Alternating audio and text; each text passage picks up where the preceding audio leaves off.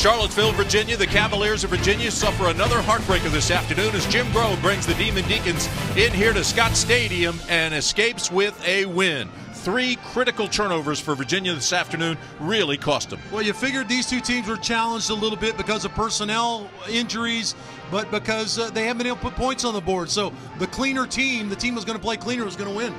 This game got off to a quick start. Wake Forest right from the very first punt.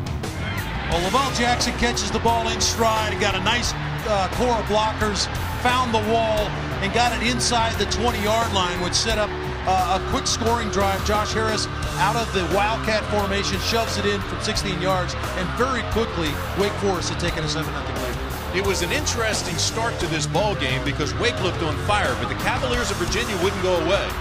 They found uh, here Tim Smith catches a little bootleg play, explosion play, puts them down in scoring range, come right back, take a shot to Gamble deep. Could he get it in? Was he in or out? They declared that he was out of bounds, uh, stunted, and they missed the field goal as, as a result. Second quarter, Sims heated up a little bit, hit four of his seven passes. Yeah, great job of getting a drive right before the end of the half, uh, provided an opportunity for them to maybe go in with some momentum, but it was a late play on a squib kick, a penalty, put him in position to make a throw there to Terry. And as it turned out, Wake Forest went in at halftime with some of the momentum, getting three right at the half. Young Chad Hedlund, the kicker for Wake Forest, had a terrific afternoon.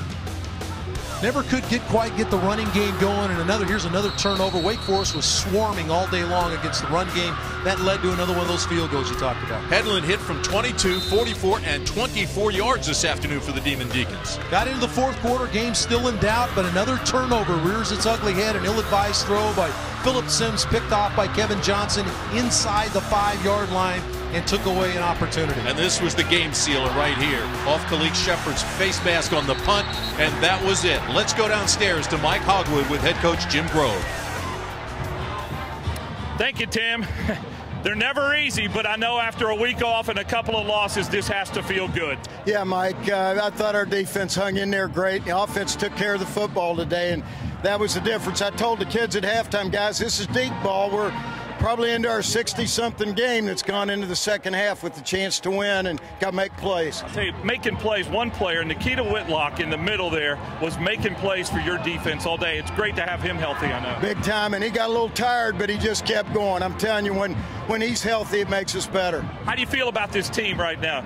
Got to win after a couple of losses. Uh, you're not in bad shape.